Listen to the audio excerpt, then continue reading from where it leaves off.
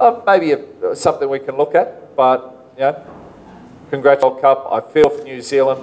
They, were, you know, they probably adapted to the conditions during that World Cup better than any other team, and uh, for them to get so close, uh, it's a little bit, uh, yeah, is tough.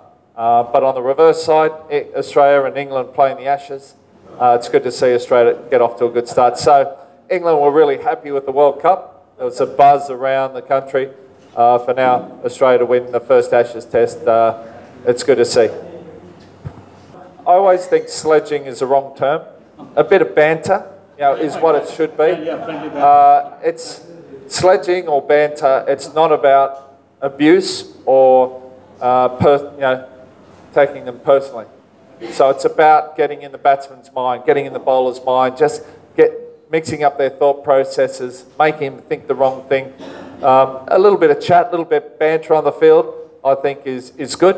Um, it's always been the Australian way. Uh, we're even worse against our own teammates than we are against the opposition, but every team has a bit of chat in the middle. Um, from, uh, and even, even the great Sachin Tendulkar had a bit of banter with me back and forth one test, uh, one one day match where he smashed me everywhere. So uh, banter I think is good.